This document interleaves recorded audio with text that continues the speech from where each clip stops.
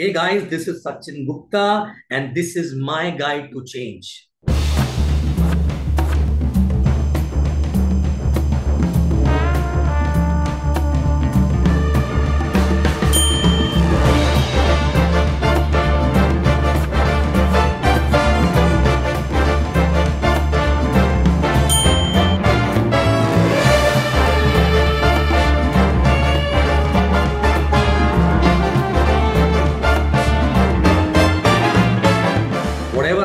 It's only because of consistency, right?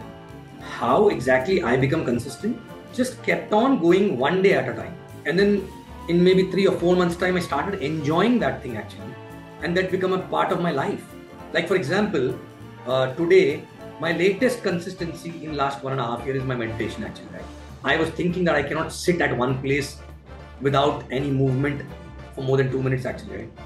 But I started doing that meditation one day at a time, maybe for five minutes, then 10 minutes, then 15 minutes, then 20 minutes. Today, I can do that for one hour effortlessly, actually. Right? Now, there are so many things I'm consistent at from last so many years, whether it is my workout, my diet, my uh, activities, business activities, my meditation, my prayers, everything one by one, but never started all together, one by one, one by one.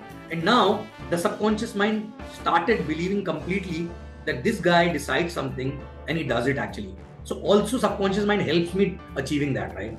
So that's my that's my tip for people actually who want to be consistent, right?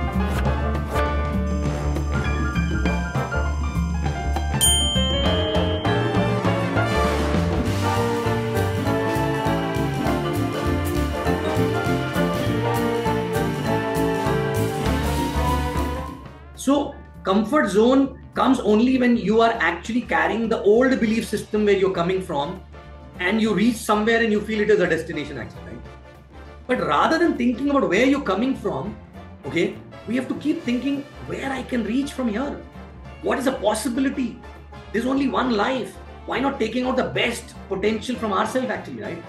And that's my mantra for not falling into a comfort zone. And then it become a game. Then it become it become like a like a addiction that you want to break your own records every now and then, right? And you never fall into comfort zone. Comfort zone is like an inertia. Inertia actually deteriorates a person, right? The only mantra for not falling into inertia zone is always have a next goal. Always see the possibility where you can go from here, actually, right? And just gun for it. That's it. Never look at people who are behind you, right? Because once you look at people behind you, you always feel, oh, I'm ahead of them, actually. Right? So I never competed with anybody. Because if I compete with somebody who's going too fast, I will feel demotivated. Okay. If I compete with somebody who's behind me, who's too slow, I'll feel complacent actually, right?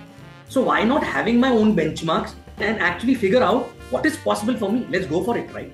And that's how exactly I push myself out of comfort zone all the time. But what is more important in this business is what you become in the process of reaching there, right? Right?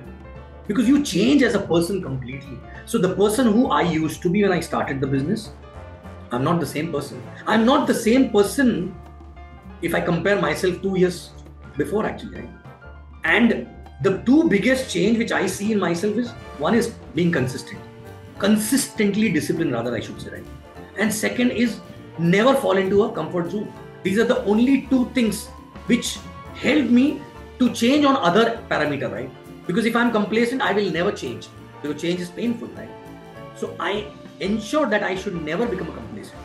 If I'm not consistent and disciplined, even if I know where to change, I'll not be able to change. Right? So these are the two things which are catalyst in other changes which I got in my life. So guys, be the change. Find out those two things actually which can help you to actually grow and increase the holding capacity.